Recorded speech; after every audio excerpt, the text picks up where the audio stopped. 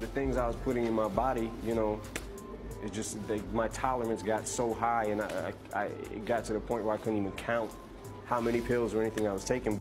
I had overdosed in 2007, pretty much almost died. I pulled through and went home and relapsed again like less than a month later. I scared myself and just was like, yo, I need help.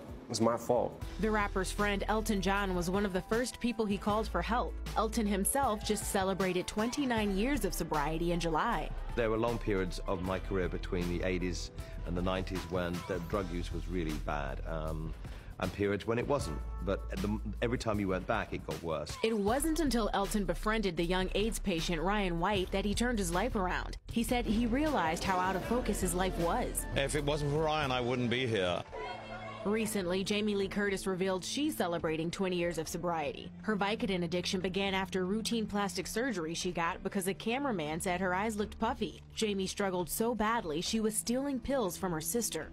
I got sober, specifically brought it to the public, not because I wanted to talk about, uh, by the way, an opiate addiction that I had for 10 years, but I wanted people to be able to relate so that they didn't feel afraid.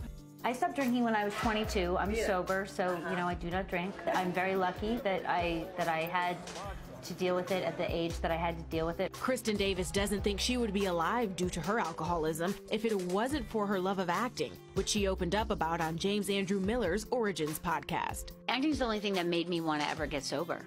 I didn't have anything that was that important to me other than trying to dull my senses or whatever. So, you know, I don't, I, I didn't think I would live to be 30.